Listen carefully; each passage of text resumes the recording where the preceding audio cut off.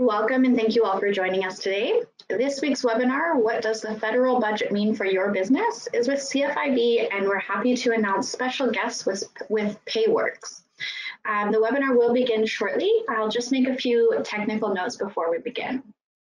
On the webinar panel, this is the blue or orange flower icon on your screen. You'll see the handouts pane. Here you can find today's presentation and you can open and save it there's also a questions pane where you can enter your questions for our panelists today, and we will try to answer as many questions either through the chat box direct to you or during our live Q&A session towards the end. Following the webinar, please take a moment to complete a short survey letting us know your experience today. We do take your feedback and um, try to incorporate that going forward. You'll also receive a recording of today's session by email tomorrow. And with that, that, I will now introduce Laura Jones, our Executive Vice President and Chief Strategic Officer. Thank you, Laura.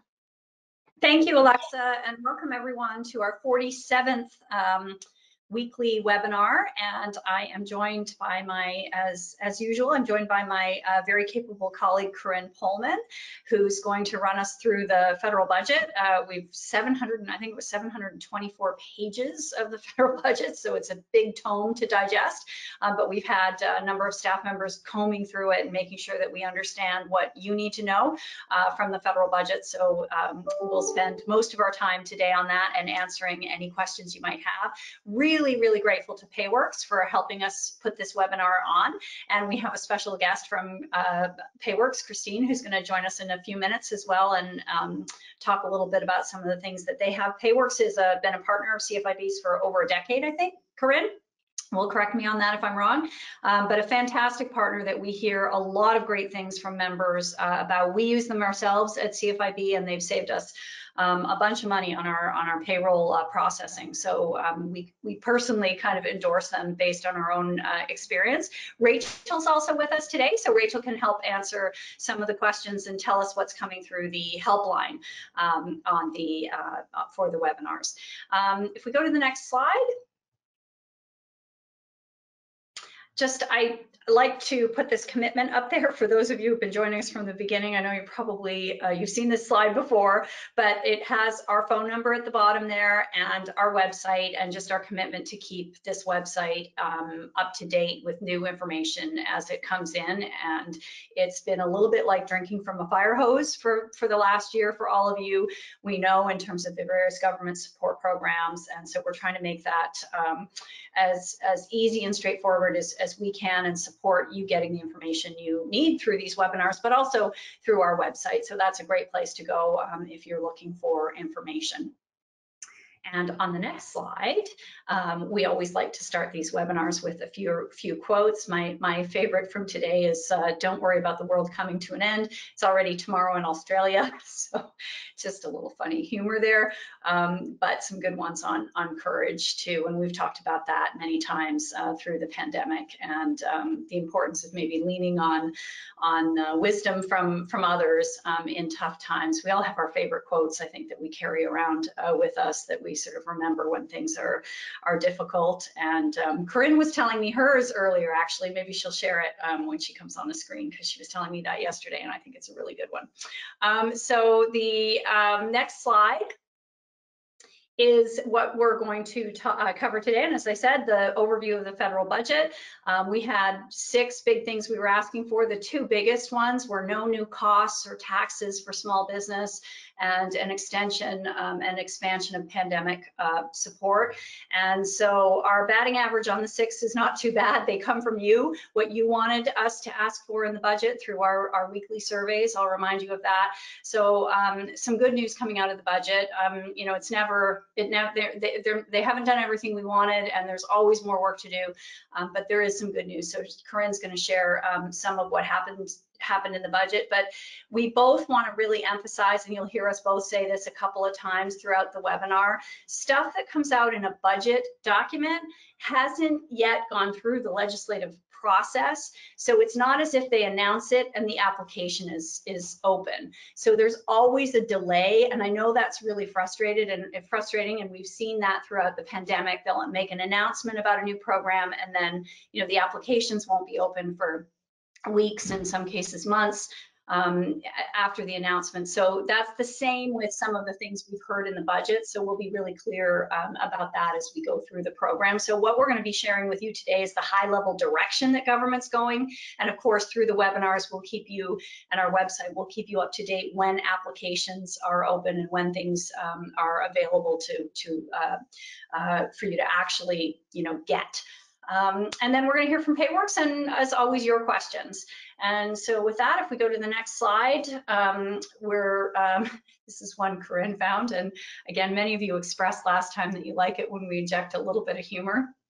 And so when we come across things that make us smile, like this uh, cartoon, we um, share them uh, uh, share them with you. And um, so hopefully this picture is one that's going to be changing uh, soon. Okay, um, Next slide. Um, Corinne, I'm, I'm going to ask you to join and I'm going to disappear and let you take it away because there's lots of great uh, news to share, but also some new restrictions that we want to run people through and just some general information. And um, maybe I'll stay up for this slide and then I'll leave you to do the federal yeah. stuff. I think that sounds like a plan. Uh, hello, everybody, and uh, thanks for rejoining us again or joining us for the first time, wherever you, uh, whatever it may be. Um, before we jump into the budget, there were a couple small things we just wanted to continue to sort of talk about. You know, the third wave has brought even more new restrictions. Our last um, webinar for those that were there, but even if you missed it, was uh, basically an overview from all our provincial colleagues on some of the provincial restrictions as well as programs that existed. It was a really good one. But even since then, two weeks ago, we've seen even more new restrictions implemented in various jurisdictions across the country. So Unfortunately, things have not been going in the uh, positive direction at this point. The positives, though, is that the vaccines do continue to roll out. More and more people are getting vaccinated um, at younger ages, so and more broadly. So hopefully, at some point, those two things will sort of even out, and one will start taking over. And so that's, of course, I think what we're all hoping for. Um, the other sort of more technical pieces are first the um, as you may recall, all of the CERS, the rent subsidy program and wage subsidy programs, um, they, they are, you apply by period and you have until 180 days after those periods uh, to apply for them. So as of today, started like today, you can note this is the last day you can still apply for period one of the rent subsidy or period eight of the wage subsidy, which was the period from September 27th to October 24th. So those are, uh, if you haven't applied, today is the last day you can do it for those periods. So I encourage you to, to do that. Before I get to the provincial ones, I wanted to bring Rachel up because Rachel came to our uh, webinar today with some late breaking news that may help some of you um, in regards to folks that may want to do an adjustment to their wage or rent subsidy uh, application. So Rachel, over to you to give that update. Yeah, so businesses have 30 days from the later of either April 21st, 2021, or from the applicable filing deadline, so that 100, so that 180 days um, after. Um, so yeah, they, they have that to to uh, receive a greater CEWS or CERS if they made a mistake, and that's what CRA is kind of they're calling an upward adjustment. Um, there's also an added um, news that those who are not able to apply for CERS or CEWS um, in certain circumstances, like the CRA portals were locked, um, or, or CRA gave them the wrong information um, or delayed their application unintentionally, um, you can actually call uh, the CRA business inquiries line to determine um, if, if you can get a late application in uh, to CRA. So definitely recommend that people take advantage of those 30 days uh, to submit those late applications or um, up, upward adjustments if possible. And Rachel, for people who might be in that situation, do they do you, are you just recommending they call CRA or is there something else they should do? Yeah, that's that's the best uh, course of action. If you have any written documentation, um, if you remember that agent ID number, um, go into your notebook, that journal, uh, make sure you have it on hand when you call that CRA business inquiries line and be ready for these long waits because you're not the only ones who are hearing about this. Um, so yeah, buckle up for that. That, but that's still the best way to do it to make the call. And maybe we can put that number in the chat just to remind people. I'm sure we put it up on previous webinars, but um, just to remind people, and it might be a number to jot down in, in the journal Rachel's referring to for any of you who are new as we keep making this recommendation, just keep a, a business journal to sort of keep track of this, all this fire hose of information that's coming at you and what you might um, forget to remember later that, that, that you need to know. So thank you for that. And Corinne, just Yeah. back to the uh, to the vaccines and what we're hearing about the third wave. Some of the health um, officials we've been talking to, we're we're plugged into um, groups that meet with the provincial um, health officials. For example, in BC, I'm um, plugged into the group that meets with Bonnie Henry, and you know what we are hearing is they are they're they're they're hoping. I mean, they're cautiously optimistic that after the May long weekend, that's when enough Canadians will be vaccinated that we'll really start to see a number and uh, uh, uh, you know a change in the numbers. So just to give people that um, intel that we have. And one more thing before you get onto the grant programs, Corinne, I just said that you shared your favorite um, saying that you lean on with me yesterday. Maybe you could share that with the group. Laura's telling all my secrets. so, um, so one of the things we were talking yesterday about sort of quotes that have meaning in your life or that uh, certainly drive you. And the quote that uh, has driven me most of my life is basically um, regret the things you do, not the things you don't do. So that's something that's always made me think about uh, what it is that life takes you. And when you have sort of crossroads in your life, it's some of the things that's always guided me. So there you go. That's mine.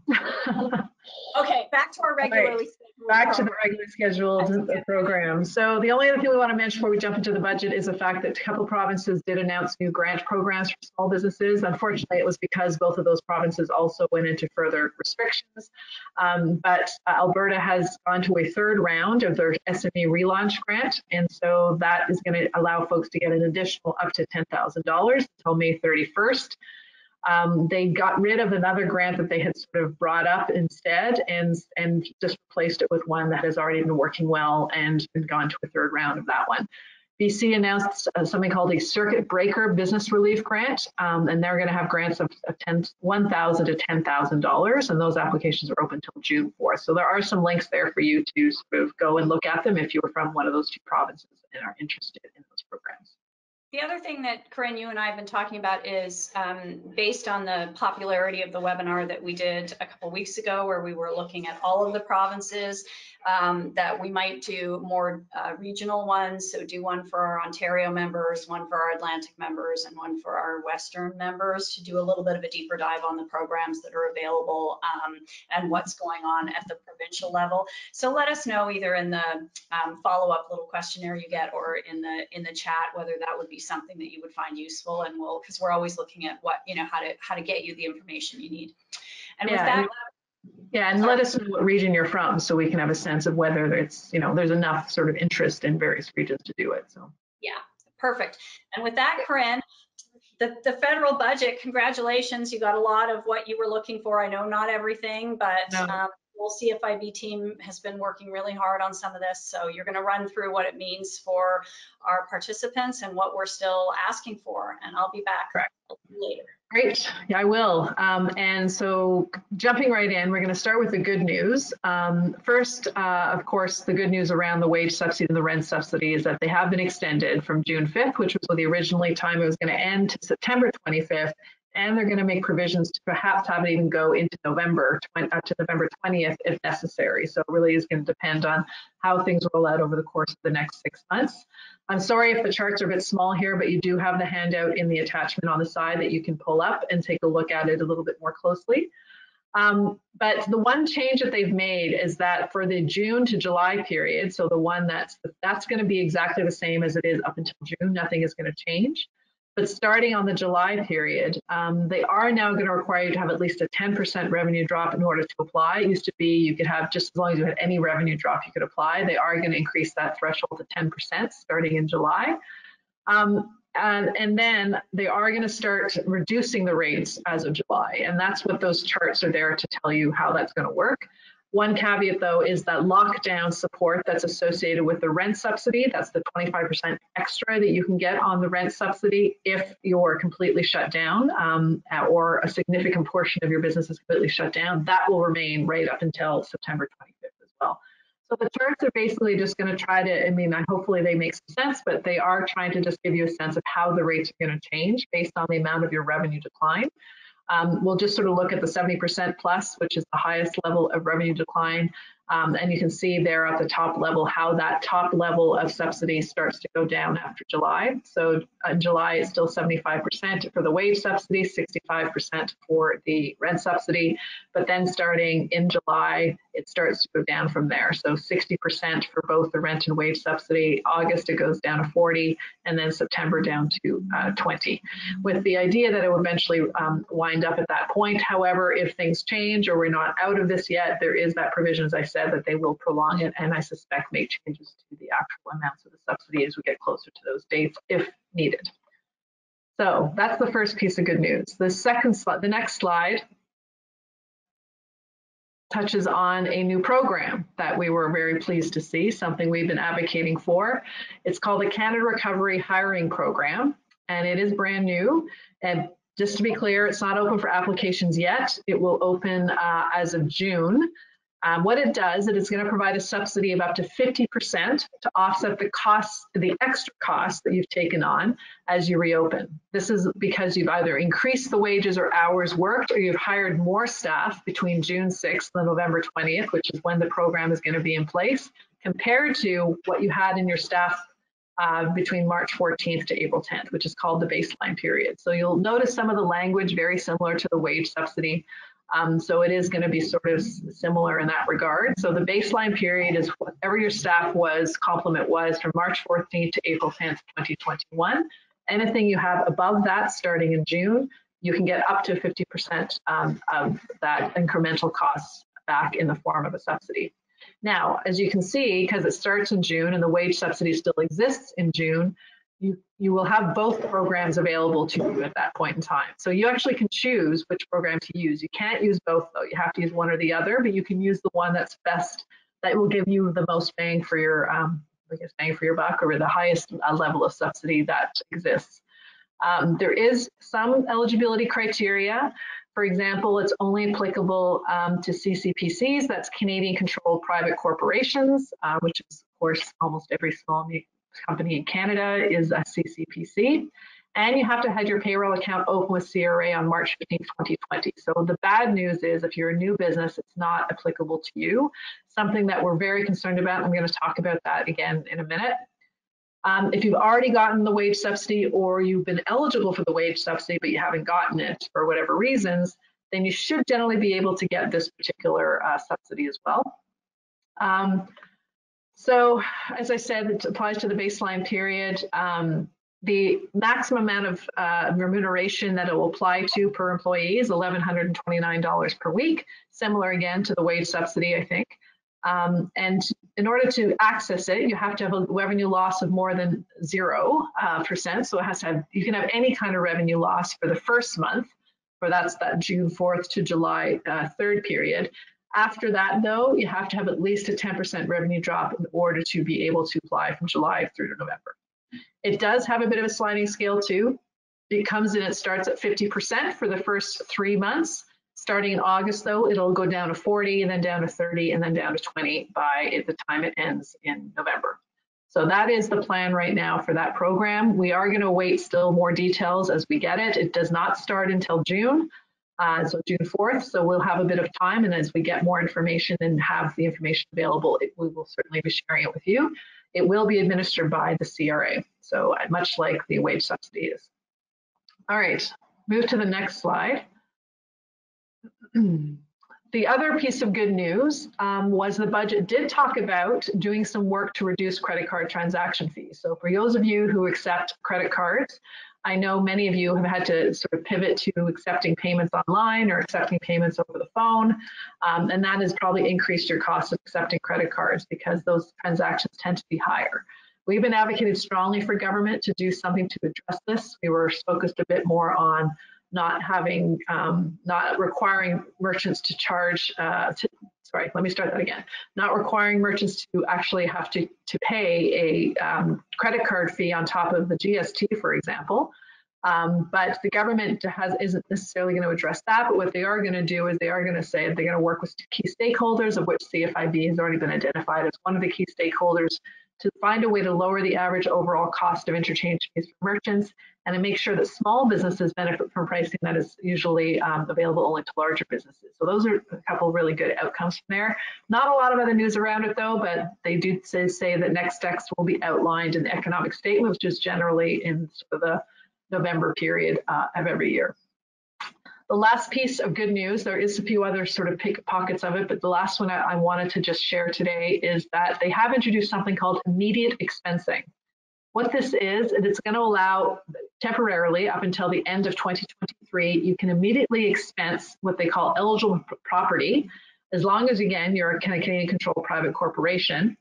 Um, going from this day forward, basically, until the end of uh, 2023, up to $1.5 million of any capital expense that you may want to acquire. Um, now, that's per year, so you can do it in 21, 22, and 23, up to 1.5 million.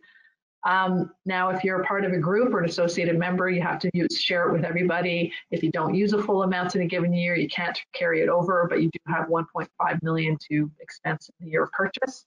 The only types of properties or, or capital that's not included is anything that has what they call long-term asset, which is generally real estate. So if you're buying a, a property or a piece of land, that may not necessarily be associated with this. But if it's machinery and equipment, if it's technology, if it's investments or renovations in your business that you would normally have to sort of uh, pay out over a number of years, you can expense it now in the year of purchase, which may help a little bit in terms of your bottom line. So that was another piece of interesting news that came out of the budget. All right, on to uh, the less good news, um, some of the bad news. So unfortunately, there were no fixes of the, gaps in the emergency relief programs, many of which we've talked about on these webinars over the last several months. Um, for example, there's still no access for new businesses that open their doors after March 1st, 2020. This is a huge gap for us. Um, so we are continuing to sort of raise this, uh, the alarm bells around doing something for these folks. There is going to be more money um, to what they call the regional development agencies, and they claim that some of those programs should be made more available to newer businesses, but we know that that itself has also had a bit of its own challenges for many businesses who went through the regional development agencies. So we'll continue to sort of advocate on their behalf. Yeah, I just wanted to pause on that point, uh, Corinne. Stephen was um, making the uh, point that, you know, why do new businesses continue to be ignored? Can someone explain the rationale for this? And, you know, there's obviously no common sense rationale for this, but I know one of the things that we hear frequently gov from government, and I think this is a bigger obstacle than many imagine, is the programming and the technical side of this and how they would, you know, retroactively fit newer businesses which don't have the same kind of criteria as older businesses and it's not an excuse. We're not making excuses for government but stephen was just asking you know about the rationale and why it's so challenging. And i think that's a big part of what why and but you might want to add to that. Yeah, and I think it's also they, they don't quite know what their baseline should be um, because obviously for all the older businesses, it's compared to what they earned a year ago. So it's relative to what they were able, what their normal sort of sales are. And because new businesses obviously don't have a baseline, they're struggling with figuring out how to do that. However, we keep pointing out to them, we've given them some suggestions. For, for example, what is the average you know, revenues of that type of business in that community usually?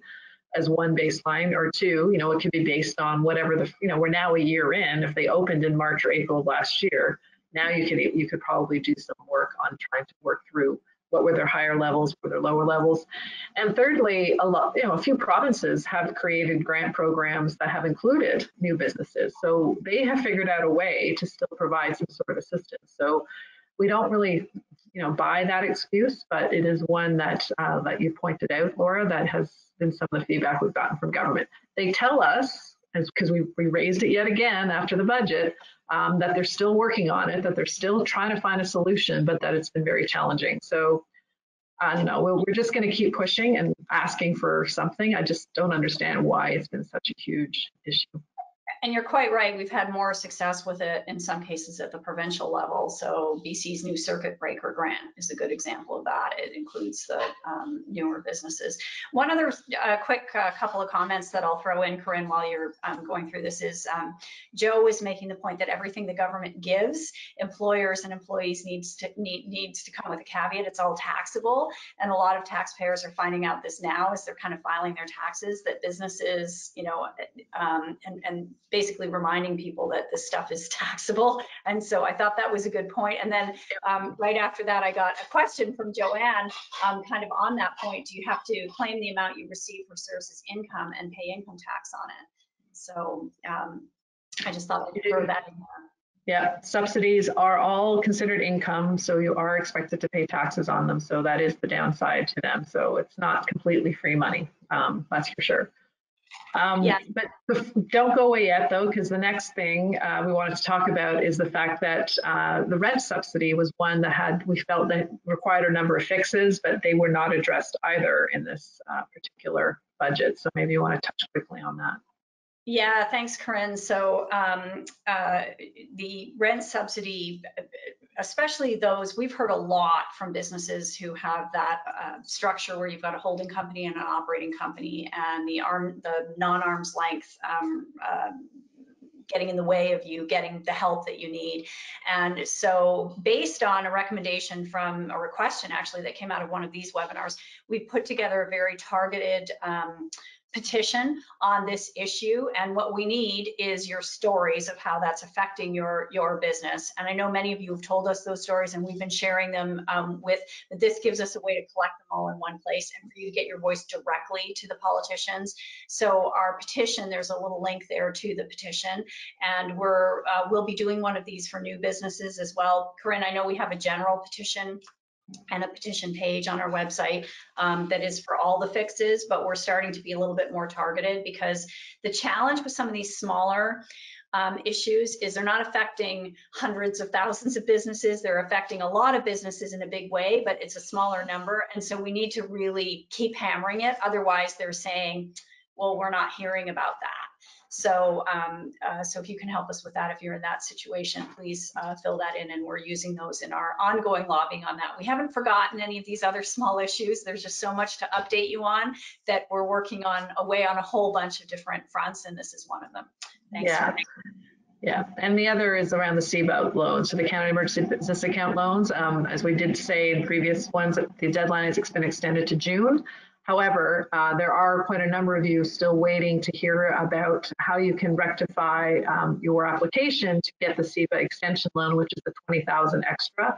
And we still heard nothing on when that's going to happen. So those delays continue. So we're hopeful that now that the federal budget is done, that maybe more attention will be focused on this because one of the one of the excuses we heard was that um, they needed finance to be online with this and they were busy with the budgets, so it ended up being stalled. So hopefully that excuse will go away and we'll have some movement for those waiting for that CEBA extension loan.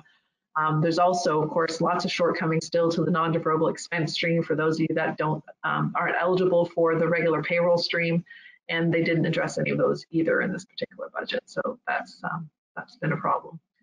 Next is uh, no help with the debt burden. We have been doing research in this area and know that many of you have taken on uh, quite a bit of debt over the course of the pandemic. Um, our some of our numbers show as much as 170,000 new debt on average, which is just an incredible amount. So we've been pushing strong for government to help um, deal with that debt burden. I mean, nobody asked to take on this kind of debt. You were forced to do so uh, because of circumstances outside of your control. Uh, however, none of our recommendations so far um, have made it into the budget itself. We were hoping they'd either increase CEBA, expand the forgivable loan, add, add, a forgivable portion to HASCAP, all of those things, but none of those happened at this point. So our work on that one continues. And finally, as I'm sure you've heard in the media and elsewhere, this was a very large spending budget. Um, so those types of spendings, as I think was pointed out by one of your listeners already, could potentially turn into tomorrow's taxes. So we're watching out for some of those things as well. Um, there was a dramatic increase in spending on non-COVID related items. It's one thing if it's COVID related because eventually those will go away and we'll sort of um, not have to worry about those. But things that become part of the permanent uh, structure going forward, um, those are the ones we need to worry about. Um, there also was no change. There's already plans to increase liquor, carbon taxes, and CPP premiums. There was no chance, no change in plans to those increases that we know are still going to be coming uh, over the course of the next year. And we are a little worried about a new a new tax. Uh, one, there was a few new taxes uh, introduced. One of them that we're a little more worried about is the luxury tax, which will be imposed on more expensive cars, boats, and aircraft. Not so much because of that piece of it, but because we have many members of industries, especially, for example, in the boating industry, that run marinas and other types of industries, or, or retailers or services that service those types of um, vehicles that are worried that this will have an impact on their ability to uh, also receive revenues because it may um, derail folks from buying those particular uh, higher priced items. So we're watching that closely as well, and uh, we'll certainly raise that concern. we go to the next slide, a couple more quick slides, just less on bad news and more just some other interesting things that we thought we may want to know about because they could affect you.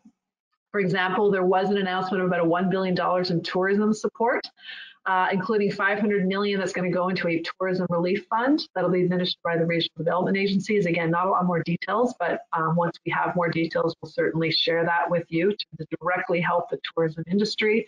The other 500 million was sort of divided up between festivals and community events and all of those other types of uh, businesses that are have been affected because they haven't been able to operate either. There is going to be money going into those as well. There was a whole slew of hiring and training programs. Um, again, not a lot of detail in any of them, but you'll see there a list of some of them. Uh, there's a Canada Summer Jobs Program got more money. There's apprenticeship service that they want to create that could result in actually providing employers who bring on first year apprentices with a subsidy of $5,000 to help offset some of the costs. And if they're in a um, underrepresented group, that particular apprentice, you can get up to $10,000 to help offset those costs. So that's something to watch for.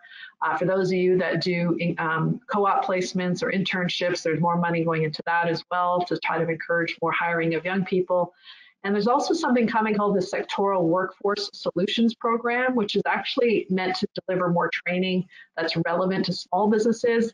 Very little detail. We're going to be working closely with government to figure out what does that look like and what is happening there.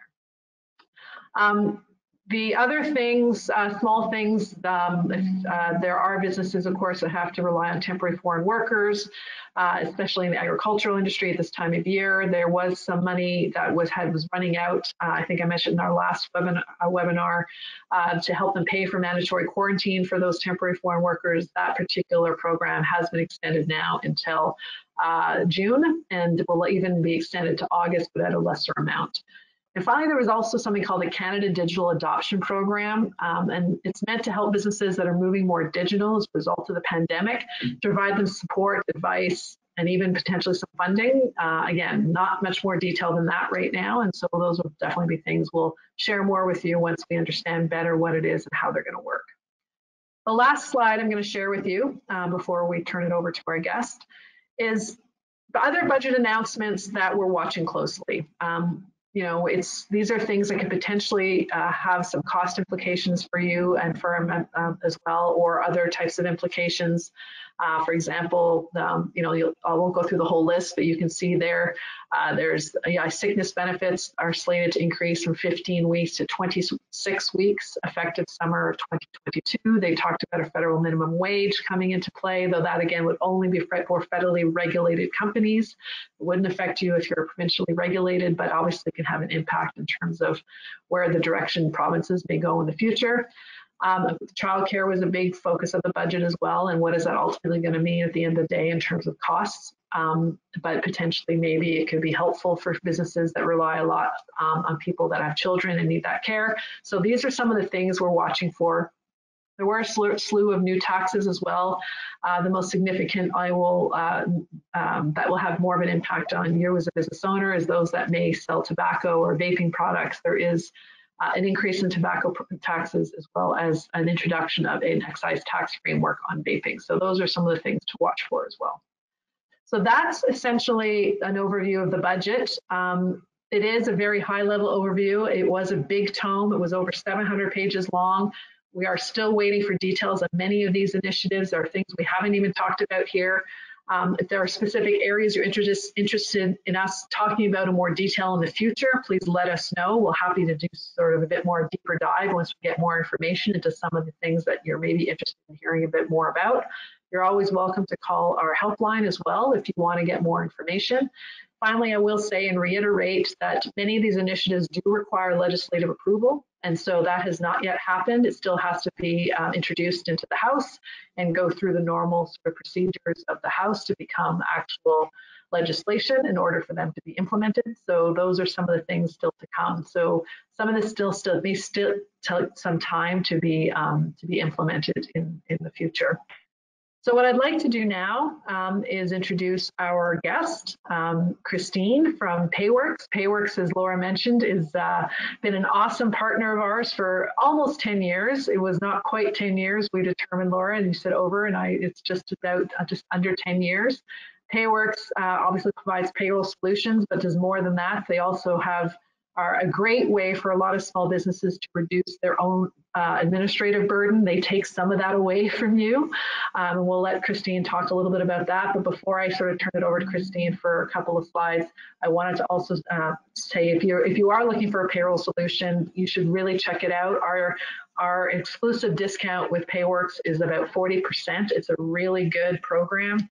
It's we always hear about the excellent customer service they provide and uh, the discounts are significant. So I uh, encourage you to check it out if you have a moment. But Christine, over to you to uh, take us through a few more slides. Thank you, Corinne, and thanks everyone for having us here today. Um, definitely appreciate all your kind words.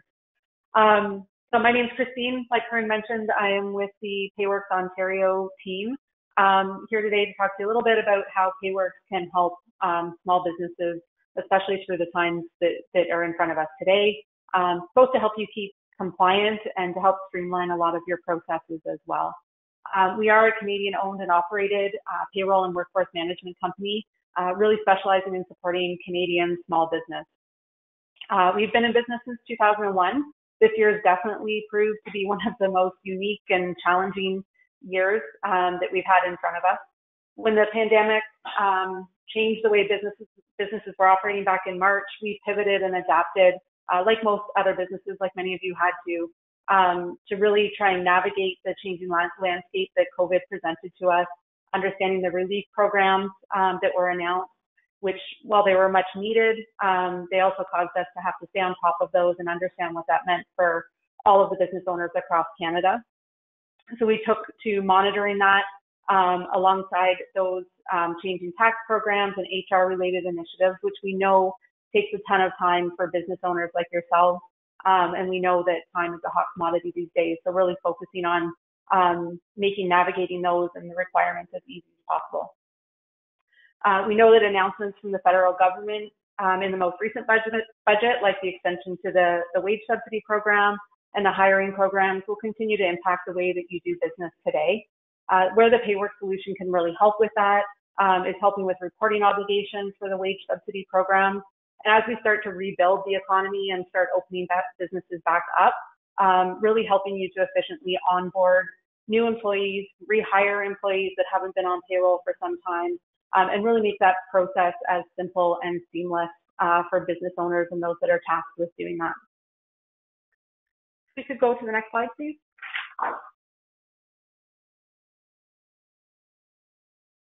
Through all of this, Payworks will continue to provide personalized service. Um, one of the key service offerings with Payworks is every client has a dedicated customer service representative. Um, so you have someone there to support you with any questions that you might have.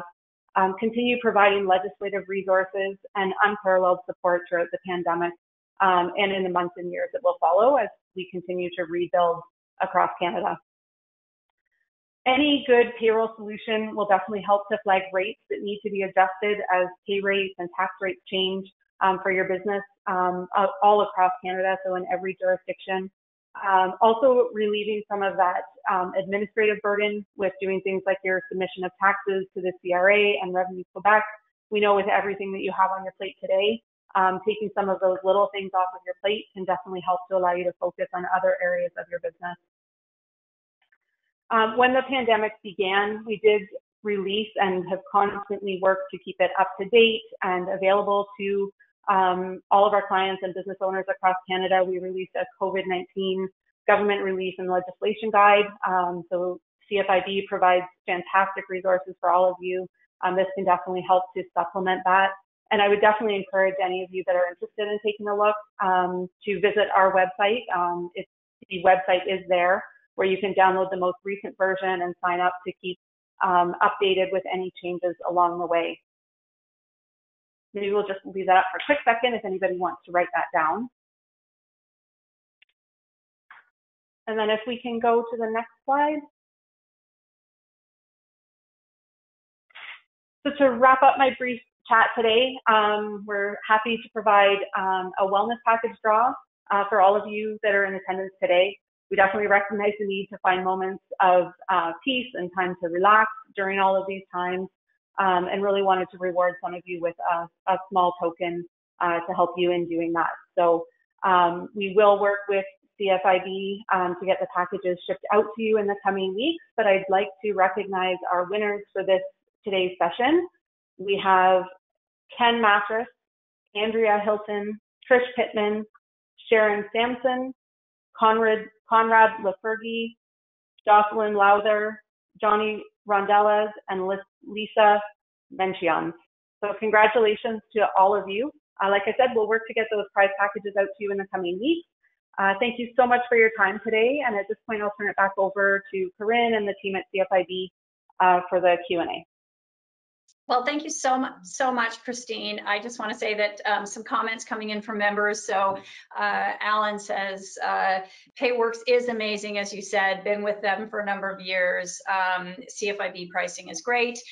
And um, Christine, as you know, um, we were so excited to become partners with Payworks um, back almost 10 years ago uh, now, and um, to support a, a, a mid-size uh, business in Canada uh, based in Winnipeg. And um, and uh, you've been great uh, to work with for us personally for CFIB's payroll, but also we get a lot of comments like that from members. So thanks for everything you do. And we also have been reinforcing on these webinars the importance of looking after yourself. So thanks for helping with that, uh, with the wellness packages. It, it is uh, really critical at, at these challenging times.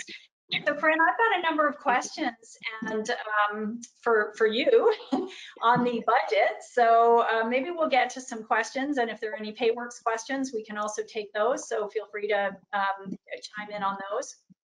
Um, one uh, question is um, from Ugo is around the budget did not address uh, extending the tax filing deadlines for businesses and individuals. So any news um, as to possible extensions? So yes, in those 724 pages, we didn't hear about that. No, no, and we it's something we've been asking for as well. We had sent letters as early as uh, February asking government to look at postponing um, the deadlines for um, tax remittances uh, for at least until June, whether corporate or personal, and GST for that matter. Um, we figured GST would be a long shot. They're less sort of keen on the GST side, but we thought maybe on the corporate and personal side. But given the timing now, we're basically what 10, not even 10 days away from the personal income tax deadline. It's unlikely it's going to be extended. What they are doing though, um, same with corporate taxes, we've heard zero. But the one thing on the personal income tax side is there was a small sort of caveat in some correspondence we got from CRA recently that said that for anyone who makes who um, on the personal income tax side who makes less than a certain amount, it was around the 75, 70,000, 75,000 dollar mark, and had to use one of the uh, emergency relief programs. There was going to be flexibility as, as to the when you would have to pay. So they weren't going to um, penalize you if you were in that category and you couldn't pay your taxes by April 30th. So, but for everybody else, if you're in that boat, if you're somebody who um, has to pay some taxes that are coming due, whether it's corporate or personal, and you don't have the cash right now to do it or the ability to do that right now, our strong recommendation is you call CRA and you talk to them about it. They are trying to be more lenient. Um, so if you do that, I think in advance, and try to work something out with them. I don't know if you'll get away without any penalties and interest, but it's worth a try. Um, and so, I, you know, and you tell them your circumstances, they, they may very well give you a little bit more time or a little bit more flexibility around that. So that would be my recommendation. Yeah, it's almost always better to keep an open line of communication with them. I mean, there are some, maybe some exceptions to that. So I'll say almost always, but um, when, when CRA gets really nervous is when they when you owe them money and they don't know where you are, they haven't heard from you or they can't get a hold of you. Um, there's one that is kind of in a similar vein here from Adam, which is, has there been any discussion with the government about extending the repayment of CERB, um, considering how much longer the lockdown has lasted? I have not. Uh, I might ask Rachel if she's heard anything. Um, CERB, um, we haven't had much new on CERB, I think, since the last fall when they, they said that the uh, repayments could be, um, I think, uh, they, they made some changes to the repayments at that time, but nothing since, I don't think, Rachel. Yeah, yeah. If you recall, there was this big issue between the net income and, and gross yes. income, and those who had used net income because it wasn't clear um, government put out a statement that that uh, they would not have to repay that money back. Um, but we still haven't heard any news on that yet. And we've asked as far as, as lately, as recently as last week, or this week actually, um, for updates on that. And CRA is still um, telling us to, to hold off. And yeah. Sorry about that. So we don't, unfortunately. You know, there's a number of comments and questions, Corinne, here, and not surprisingly about the um, lowering of, um, you know, the CEWS and CERS reducing their the, the formula, and um, what happens if restrictions are still in place or things are still being. And I know that in your lobbying, um, you know, we, we, we, were looking at two things. One big thing in the budget was getting these programs extended. And then the second thing we always look at is, is the formula reason, like, is the formula high enough? And you, lo you know, we lobby on both of those things. How long should the restrictions be in place, which we've said as long, uh, sorry, the support be in place, which we've said is as long as the restrictions, but also the formula. Do you want to talk about how you lobby on the, the formula? And I guess the second part of this is both from Pat, Sheila, um, are asking. So that's kind of David's question in a nutshell, but Pat and Sheila are also asking about the travel, um, travel uh, industry and, you know, real frustration on the travel industry side. I can talk in a minute about some of the research we're going to do on that, but um, maybe you want to some of that. Yeah, so our um, advocacy is centered around uh, basically the premise that you just talked about, which is those emergency relief programs need to remain in place in some form, um, at least until businesses can fully reopen and fully be able to bring back customers like they could prior to the pandemic. And that includes the border reopening as well, right? Because we know so many in the tourism sector rely on that border being open. Um, the other thing we've talked about is the fact that, you know, the other sort of, I guess, parameter that we need to use is governments have to stop telling people to stay home, right? Um, as long as governments are telling people to stay home, even if you allow businesses to reopen in some form, people aren't going to come to the same degree, right? So it's um, and so because governments, you know, that's essentially they're trying to follow the rules. So those are all things we're watching for um, as we sort of do our advocacy work. If those things start to shift or change, then potentially we can look at how we start to um, reduce uh, the the impacts of these particular programs. The good news is right now, everything is the way it's going to be right now up until at least July 3rd. So that is still a few more months. Um, as we all know, this time in this pandemic is is crazy. Like we just don't know from one month to the next if it's going to go up or it's going to go down. So obviously, as we watch that, we'll also make recommendations as we get closer to those dates where we see those subsidy rates start to go down if it looks like things are not better, we will be uh, pushing strongly for them to maintain it at the current rate or even increase it if it's really bad, right? So those are definitely things that we do. I mean, even in our, I had a call this week with some folks from the finance, um, some senior finance officials about the budget after the budget, and that was one of my questions to them. Like, how are you as like the people making these decisions going to decide whether to prolong the wage and rent subsidy from September to November, or do you have certain parameters in your mind that you're going to sort of look for in order to make that decision because they are going to you know put the flexibility into the legislation to allow them to do that without having to create a whole new piece of legislation. And their answer was no we're just going to have to wait and see how things evolve. It's been so unpredictable we just don't know. So that's you know essentially we're all this together and the way that we do it it's based on your feedback. So if you tell us I'm not ready. I need this for another two, three, four months. That drives um, the messaging we will use. And as you saw in the budget, it can it can have an impact and can get changes made. And one of the things, just to support what you're saying, Corinne, about we we do that based on your feedback. It's you know we use the comments actually that you make to us in these webinars as well as our surveys. And our latest surveys are showing that 65% of you across Canada are saying that your business is still very dependent on and needs um, these subsidies in order to make it through the pandemic. So we make regularly, depending on what part of the country you're in, those businesses in Toronto, Peel, actually most of Ontario, um, has um, are are even higher on that than businesses in um, some of the Western provinces. So we're also very um, much reflecting that uh, that feedback. Um, and then on the travel industry, Corinne, um, I just want to reassure, you know, we're getting so many comments on that. And, um, you know, we, you know, we continue to hear from members across the country who depend on tourism or, or travel in some way. And um, we're looking right now, and you'll know on the last survey, there were some special questions um, for that sector.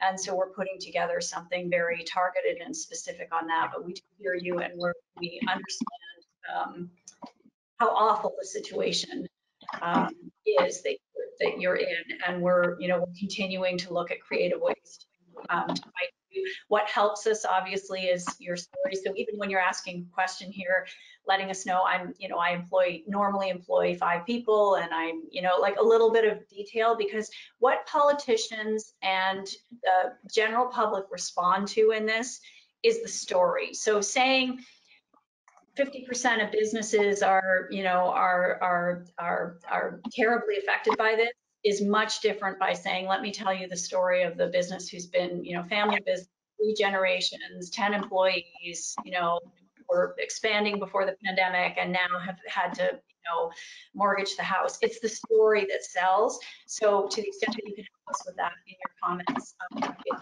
very helpful in our advocacy work. Okay. Um, so um, one, one completely, Rachel might be um, on deck for this one actually, is um, John is asking, are you aware, let's switch gears entirely, are you aware of businesses en masse being denied liability insurance um, if you proved PPE, and I'm not sure what proved PPE means there, Rachel, maybe you know, um, but John, yeah, John, that question. That, uh, yeah, I think he's trying to say that he's providing PPE. Ah, um, yeah, and and that uh, we have heard from very few members, though I should mention that um, insurance providers are, are putting limits to those who are creating PPE. Um, it, it is something that uh, I think it was John, if, if he can get in touch with me or I'll, I'll send him an email to follow up on his situation. It's something we're looking into for sure. Okay, great. Um, and Corinne, maybe an ag question for you. Is the support for mandatory quarantine just for agriculture or for all industries? We are in a summer camp and bring in temporary foreign workers. That's from Mark. I, might, if we yeah, I might have to, do you know, Rachel? I think it might just be for, for agriculture, but um, so it's it's food uh, manufacturers as well as uh, farms, uh, yeah, agriculture and fishermen as well. types of industries only. Yeah. Food. So that might be something that we can. That might be something, Mark, that we can. You know, we can ask for that um, summer camp and bringing in temporary foreign workers. You're, I'm sure you're not alone in that, and I'm sure there are others that bring in temporary foreign workers. So I think asking that we extend that provision to others that might bring in temporary foreign workers would be a really good lobbying request. So thanks for the suggestion, Mark. Um, I actually have a question for Corinne. I'm not sure if you'll be able to answer it, but I thought I would try. We're getting a lot of questions on the CHRP. I'm just still getting used to that acronym. Um, but uh, Jim wants to know if uh, it will be accessible to non-arm's length hires. Um, yeah. Yes, um, from what I could read in the budget, again, we're still waiting lots of details, but it seemed to indicate that um, as long as they aren't um, as long as the, the they're not making like significantly more than in the baseline kind of thing. So I think that there is, uh, I think there is a provision that allows for that as long as it's, you know, along the lines of what everybody else is making kind of thing. So I believe so. But those are the details that we're still going to have to wait before we absolutely know for sure. Sounds And- good. Rachel, a couple of comments here. One from from Joe about um, uh, uh, have you tried to phone CRA lately? Takes forever if you can get through, and chances are you'll get a dusty answer. Which Yeah. Yeah, it's uh it's up and down depending on the time of day that you call as well. I just want to throw that in there. Um, and especially with this new um, news that I shared earlier today, um, I, I would not be surprised if, if you still have to wait three hours or, or longer. But please let us know how long you guys are waiting. This is always feedback that we um, love sharing, but not really love sharing with uh, with uh, CRA. yeah, that's great. Um, Great. I uh, thought I would just mention one question. that we had Linda who wanted to know uh, on any news for the Ontario Hospitality and Tourism Grant. And so far, no timelines have been provided. And I'm hearing a lot of you um, be uh, a little confused about the, the other Ontario uh, Small Business Grant. Um, some people are, are, are getting words of, of potential pre-audits or, or whatnot. Um, they're they're case by case and and and this program has been pretty slow to to help people um, as well. So please let us know. Give us give our br counselors a call um, and we'll try our best to help you out. But the the fastest um, response that you can do is is reply to that email to to get an update Great. Um, Rachel, here's one for you, actually. Sorry, now that you've disappeared. Um, uh, and, and Kurt, but Corinne, you can probably answer this too. Um, so Carol's asking, if you receive the Ontario Small Business Grant, are you able to apply for the CERS as well? So maybe just clarifying for people the lanes um, and federal and provincial support, because sometimes there's a little bit of, if you got one thing, you can't get another, but often there's not. So, you know, if either of you want to take that one. Yeah, I yeah, more often than not, um, you are able to. In, in this particular case, they would be able to receive the SUS and the Ontario grant. Um, so I like to use the example of, of the Canada Summer Jobs Program. You can use the Canada Summer Jobs Program and the SUS at the same time. Um, yeah, that's uh, one is federal, one's provincial.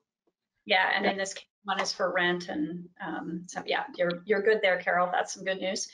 Um, okay. Um, Corinne, do you have questions? And you probably have a bunch on a theme because I know sometimes we get we get them in themes. So any ones that you want to put in?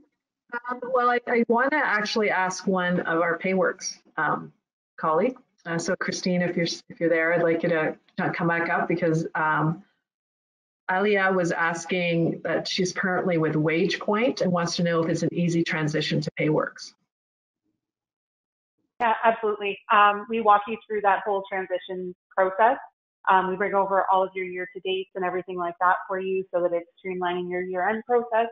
Um, but you would work directly with um, a member of our implementation team to walk you through that process and definitely hear from new clients. We survey them regularly to make sure that the experience transitioning over has been an extremely positive one. Um, so that is from the, the voice of the clients as well as myself. I was a Payworks client before um, and transitioned over very seamlessly. Um, they just made the whole process very easy for us. Thanks, Christine. Um, so I, that's the only one that I had at the moment, but I think it's good to know that it's fairly easy to do if you are interested. So we encourage you to do that. Um, I do want to just also touch on Deb's question. She was saying, what are the chances that the budget doesn't get passed and triggers an election? And uh, of course, Deb, that's always a possibility because it is a minority government. Um, however, um, it's unlikely to happen around the budget only because uh, the NDP uh, has said that they will support the budget. So, um, and that because they're not looking to go into an election quite yet. So all the Liberals actually need is one other opposition party to support them and they will be able to pass the budget. So we're not expecting it to fall, but you never know when it comes to minority governments. Um, but all indications are that this budget will pass and it's more likely if we are to have an election, it will be later in the year. I just wanted to touch on that one real quick. Gosh, lots of great details on the frustration with the CRA um, helpline. Uh, Carolyn saying um, three hours wait last Saturday. Frank is saying 3.4 hours to respond and get his mom EI, and they gave up after that happened four times. So um, these will be great examples, Corinne, I know for you as you're talking to CRA for um, the frustrations. And yeah, it's uh, service isn't great right now. Also, lots of great examples, uh, Corinne, coming through, and thank you to all of you who are providing them on insurance renewals and Rachel. So clearly, that's a topic we'll um, be doing some more work on come back to. Um, people saying they can't even get insurance, and uh, so that's um, um that's uh, tricky. A couple of people making comments about, you know, rather than more subsidies, we need to reopen. So Jorge and um, uh, Lisa was making a comment on telling you know, the uh, Cottage Life magazine telling people not to build this year and a number along the theme of, look, we need to get reopened and not just subsidizing. Um, Corinne, do you, I can comment on that or do you want to comment on that? No, no, go ahead. You know, um, so it's interesting in our surveys, members have, do, like the general public, have a, a variety of views on this. And there are a lot of businesses who would like um, to see things reopen much faster. There are some of you who are, you know, who who are who are who are a bit nervous about that, and so obviously there's one size fits all. But we are saying governments, our advocacy on this has really been focused on we need to, you know, safely reopen as quickly as possible. And so we've been advocating for things like, based on your survey results, um, better use of rapid testing. Um, you know, I know there's a lot of frustration about the sluggish vaccine rollout in Canada, and um, so we some comments um, on that. Uh, but also looking at different comparisons. So, you know, we've been making, you know, we talk about in British Columbia, the hairdressers have been open and there are, it's not, there's no evidence that that's causing any serious risk to anyone. They've been shut down um, in uh, Ontario, particularly in Toronto and Peel. Um, so um, that's the kind of work we're doing on that. The comments around this are helpful and we, we agree we need to get, you know, we need to transition off subsidies and back to sales as quickly as we safely can, but we do have a variety of different perspectives from members on you know on that on that health piece of it um, which is which is obviously um, trickier so i just thought i'd give a little context around that um, I guess we're getting close to time, uh, Corinne. Are there, there's a couple of other one, there's maybe one that I will put to you that's specific, but you can answer it quickly maybe. Um, the Self-Storage Association, um, is wondering if, you know, we've been working on that active passive tax issue for a while. I didn't see anything in the budget on that, but I, I it was 724 pages, so I don't know if you did. And I think she's wondering if there was anything on that. No, no, there wasn't. Um, it continues to be an issue that uh, we do raise where uh, we can, uh, but nothing at this point on um, the active versus passive issue for folks that run self-storage um, businesses. Great. I actually have a question that is from Hugo that says, is there a number we can reach Christine from Payworks to follow up on any questions or information? And as you well, um, I guess, Christine, yeah, maybe you can answer that question. We also have up there our own CFI member saving specialists. So that's uh, another group that can help patch you through. But Christine, maybe you um, have something else you'd like to add. Yeah, absolutely. If you if you follow that um, web page, the web link um, there, that'll take you through where you can fill out a form and request information back. Um, I don't know the best way to share information after. We can maybe provide you with our main number to call in through when you send out the recording of the video, if that would work.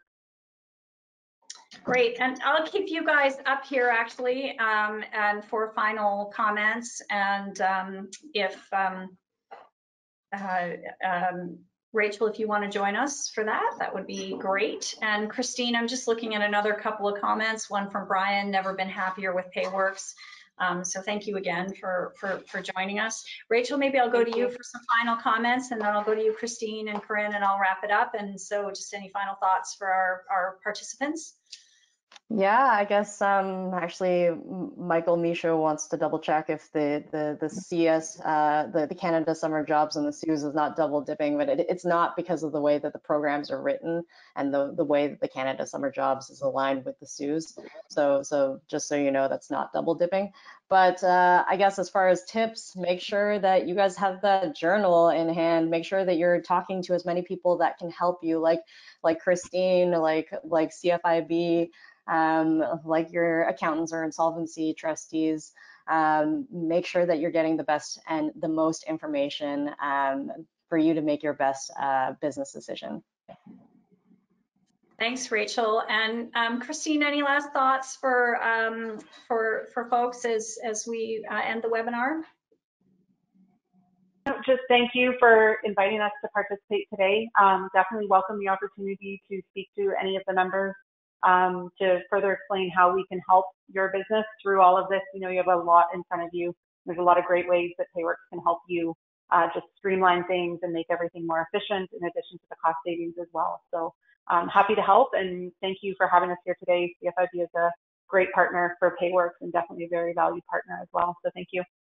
Well, thank you, Christine. Again, lots of great comments for members. I'm not surprised um, about that. And of course, doing something like switching your payroll provider is kind of a sometimes feel like a, a daunting task, but you guys make it easy and the cost savings make it put a smile on your face for sure. So um, thanks so much for that. And we'll encourage members to call you if they have any additional questions. Um, Corinne. Thank you.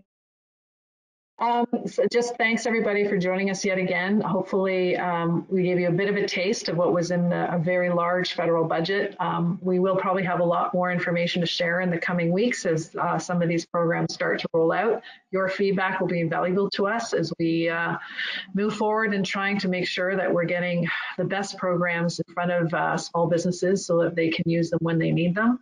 So please continue to provide your feedback either through the webinars or through our helplines or um, through any other means, uh, certainly or email. Um, we're happy to hear from you. And the surveys are a big one as well. So please fill those ones out. Um, we do them monthly now, and they've become critical to the work that we do um, in sort of presenting to government your uh, your your issues. So thanks again for joining us, um, and hopefully we'll see you again or hear from you again soon. Thanks, Corinne. And I'll just uh, wrap us up by, um, you know, hang in there. Summer's coming and we will get through this. I know it keeps, uh, that, that uh, finish line keeps almost feeling a little further away and a little further away than we thought it would, but we will get through this. Um, and just to a number of comments about, oh, that asking me a little bit more about needing examples.